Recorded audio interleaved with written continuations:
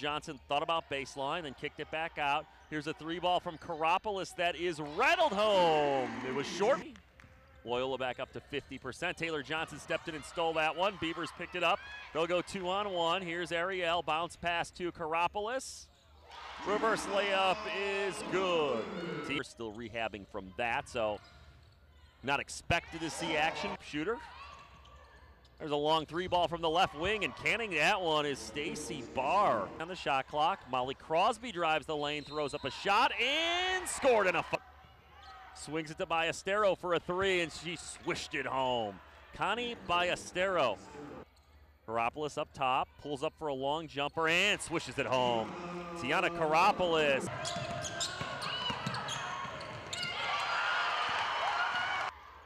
Taylor Johnson with the three from the left wing is good. Taylor with a big bucket.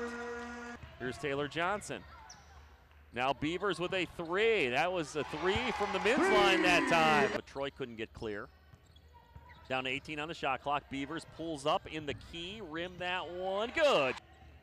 Now top it goes to Salvatore again, and she had it blocked out of bounds. Troy Hambrick, Scott Smith skies for the rebound. They'll kick it back to Aaron Thomas for an NBA three, and she hits it. Idaho with the rebound.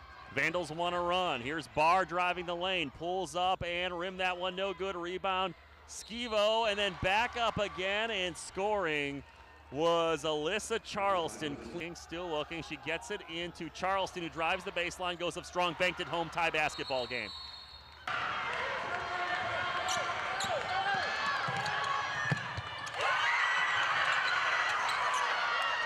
Christian.